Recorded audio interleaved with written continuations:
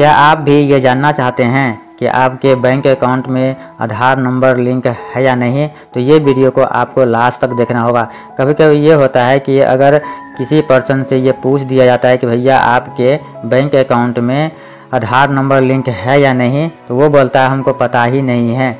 या उसको ये चेक कर नहीं आता है कि कैसे चेक करेंगे अपने मोबाइल फ़ोन से लैपटॉप से, कि आपके जो बैंक अकाउंट है उसमें आधार कार्ड नंबर लिंक है या नहीं। सो आज मैं इंजीनियर राजा और मैं आपसे सजेस्ट करता हूँ कि अभी तक आपने मेरे यूट्यूब चैनल को सब्सक्राइब नहीं किए हैं तो इस रेड बटन को दबा के यूट्यूब चैनल को सब्सक्राइब कर लीजिए और इस तरीके का नया नया वीडियोस पाइए आप रोज़ाना। तो आज के वीडियो में मैं आपको बताऊँगा कि किस तरीके से आप घर बैठे अपने मोबाइल फ़ोन से, लैपटॉप से ये चेक कर पाएँगे कि आपके बैंक अकाउंट में आधार नंबर लिंक है या नहीं। और लिंक है तो कौन सा डेट में आपका लिंक हुआ है, आपके बैंक अकाउंट में आधार नंबर और लिंक है तो एक्टिव है या नहीं है, कौन से बैंक में लिंक है और आपका आधार नंबर शो हो रहा है या नहीं हो रहा है, ये सब जानने के लिए आपको इस वीडियो को लास्ट तक देखना होगा। तभी आप समझेंगे किस तरीके से घर बैठे ये चेक कर पाएँगे। अपने मोबाइल फ़ोन से लैपटॉप से कि आपके बैंक अकाउंट में आधार नंबर लिंक है या नहीं। तो ये सब जानने के लिए आपको इस वीडियो को लास्ट तक तो भैया ज़रूर देखना होगा। तभी आप समझेंगे किस तरीके से ये चेक किया जाता है कि आपके बैंक अकाउंट में आधार नंबर लिंक है या नहीं। तो इस वीडियो को आप लास्ट तक ज़रूर देखिए। तो चलिए वीडियो को शुरू करते हैं।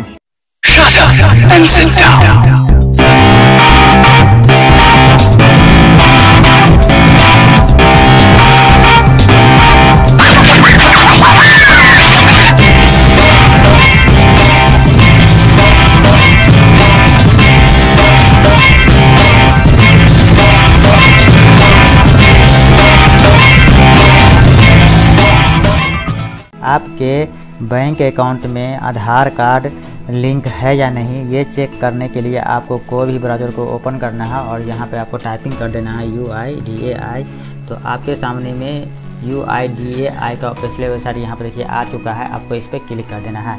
जैसे इस पर क्लिक करते हैं तो यहाँ पर देखिए, आपके सामने में यू आई डी ए आई का ऑफिशियल वेबसाइट ओपन होकर आ चुका है। आपको यहाँ पे एक ऑप्शन मिल जाता है। जहाँ देखिए माय आधार पे इसे कर्सर रखेगा तो यहाँ पर आपको ढेर सारा ऑप्शन देखने को मिल जाता है।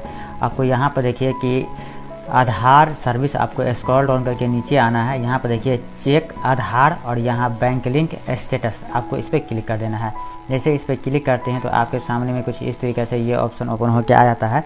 अब यहाँ पर अपना आधार कार्ड का नंबर डालेंगे। ये कैप्चा स्मॉल में तो स्मॉल में, कैप और कैपिटल में है तो कैपिटल में डालना है। अगर कैप्चा समझ में नहीं आता है तो यहाँ से रिफ्रेश कर लेंगे। इसके बाद यहाँ पर सेंड ओ पर क्लिक करेंगे।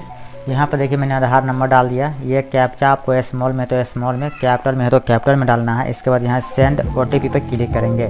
जैसे इस पर क्लिक करते हैं तो आपके रजिस्टर मोबाइल नंबर पर यहाँ पर देखिए कि आपके रजिस्टर मोबाइल नंबर पे ओ गया है। जैसे मेरे केस में यहाँ पे ओ आ गया है, मैं यहाँ पे ओ डालूँगा। तो आपको सिक्स डिजिट का ओटीपी आएगा और ये टेन मिनट का वैलिड रहता है। तो आपको टेन मिनट के अंदर अंदर में आपको ओटीपी यहाँ पे डाल देना है। ओटीपी डालने के बाद यहाँ सबमिट वाले पे क्लिक करेंगे। जैसे इस पर क्लिक करते हैं तो यहाँ पे देखिए कि आपका जो मोबाइल है, ये जो है सेंट्रल बैंक ऑफ़ इंडिया से लिंक है। तो यहाँ पे आपको कुछ इस तरीक़े से शो कर देता है। यहाँ पर देखिए कि आपका जो लिंक हुआ है, कौन सा डेट में हुआ है, वो डेट आ जाता है। यहाँ देखिए बैंक लिंक स्टेटस आपको यहाँ पे एक्टिव है। यहाँ पे आपका आधार नंबर आ जाता है और यहाँ पे बैंक का जो है नाम पूरा आ जाता है। सो गाज इस तरीके से बहुत ही आसानी से आप घर बैठे अपने मोबाइल फ़ोन से लैपटॉप से ये चेक कर सकते हैं कि आपका आधार कार्ड कौन सा बैंक में लिंक है और कौन सा बैंक में लिंक नहीं है, वो सारे के सारे आपको यहाँ पे शो कर देता है। जैसे यहाँ पे देखिए, बैंक का नाम आ गया है सेंट्रल बैंक ऑफ़ इंडिया तो ये जो है मेरा Aadhaar central bank of India से लिंक है।